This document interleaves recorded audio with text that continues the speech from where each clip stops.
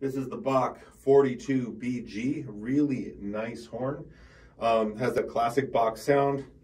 Gold brass bell um, makes it uh, sound slightly warmer, higher copper content, warms up the tone. Uh, terrific wide box slide. Uh, traditional wrap gives you a little bit of extra resistance that can be helpful in the trigger notes, for me anyways.